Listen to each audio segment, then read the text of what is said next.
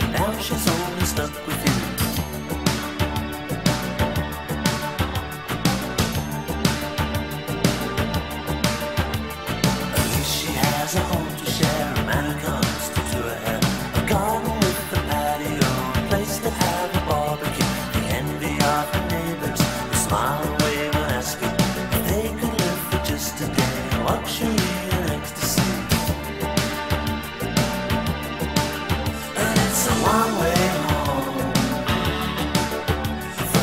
she's gone.